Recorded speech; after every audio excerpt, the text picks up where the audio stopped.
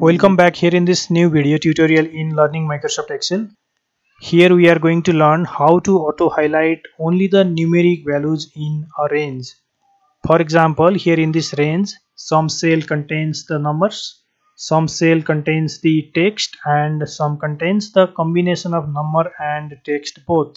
Here my requirement is to highlight the numeric value only and the highlight should be dynamic. It means later when I change the value the highlights should change accordingly. For this first of all select the range click on home tab conditional formatting then new rule.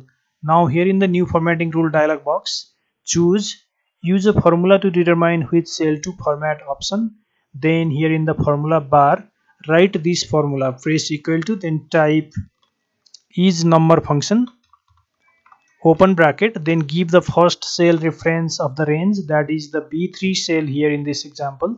So type b3 then close the bracket press equal to symbol then type true. Now click on the format button click on fill tab then choose the color that you want for highlighting then click ok and again click ok. Now you see the number value are highlighted with the blue color. If you change this number value to text value then the highlight goes off. And if you change the text value to number then the highlight will appear. So this is the way of automatically highlighting the number value only in Microsoft Excel. This much for today's video. Thank you very much for watching. We will again meet on next video tutorial